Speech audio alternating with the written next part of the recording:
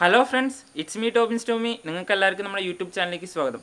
അപ്പോൾ ഇന്നത്തെ വീഡിയോയിൽ നമ്മൾ ടർട്ടിൽ വൈനെ കുറിച്ച് ചെറിയൊരു കാര്യം പറഞ്ഞു പറഞ്ഞുതരാമെന്ന് വിചാരിച്ചു. അപ്പോൾ ടർട്ടിൽ വൈൻ എന്ന് പറഞ്ഞ സാധനം ഇപ്പോൾ എല്ലാവർക്കും ഭയങ്കര ഇഷ്ടപ്പെട്ട ഒരു ചെടിയാണ്. എല്ലാവരുടെയും വീടിന്റെ ഫ്രണ്ടിൽ ഇതേപോലെ തൂക്കിയിടും.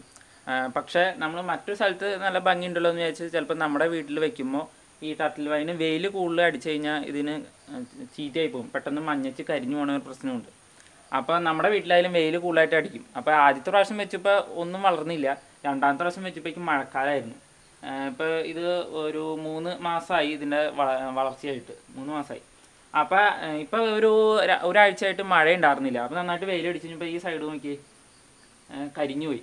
ഇലയൊക്കെ കരിഞ്ഞ് മിക്കതും മഞ്ഞച്ച് തുടങ്ങി. അന്ന് ആ വെയിലടിച്ചതിന്റെ ഒരു ഇതാണ് മൊത്തം ഇങ്ങനെ മഞ്ഞച്ചിരിക്കുന്നത്. അപ്പോൾ ഈ സൈഡാണ് നമുക്ക് വെയിലടിക്കുന്നത് ഈ സൈഡ് അത്രയും വിഷയമില്ല. കണ്ട? അപ്പം ഇവിടെ ഒരു കാലത്ത് നേരം വെളുക്കുമ്പോൾ വെയിൽ തുടങ്ങിയാൽ ഉച്ച വരെ ഉച്ചയ്ക്ക് ഉച്ചയ്ക്ക് ഒരു ഒരു മണി വരെ നല്ല വെയിലുണ്ട്.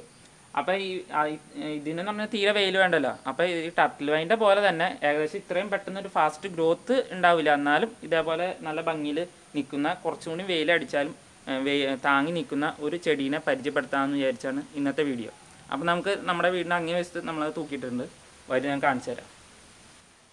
ഇതാണ് നമുക്ക് ടർട്ടിൽ വൈന് പകരം വെയിലടിക്കുന്നിടത്ത് നടാൻ പറ്റിയ ചെടി. അപ്പോൾ ഇതിന്റെ പേര് ടാങ്കിൾഡ് ഹെഡ് വൈൻ എന്നാണ്. ഇത് ടർട്ടിൽ വൈന്റെ അത്രയും പടി പിടി എന്നുള്ള ഒരു ഗ്രോത്ത് ഉണ്ടാവില്ല. എന്നാലും നല്ല എന്താ പറയുക ടർട്ടിൽ വൈന്റെ പോലെ ഇങ്ങനെ ഒരുപാട് തൂങ്ങി വരും. പിന്നെ അവിടെ അവിടെ തേക്കായ എന്ന ടർട്ടിൽ വൈൻ ടേനക്കായ എന്ന ഇരട്ടി വെയിൽ ഇവിടെ അടിക്കുന്നുണ്ട്. എന്നാലും അവൻ അത്യാവശ്യം താങ്ങിക്കോളും.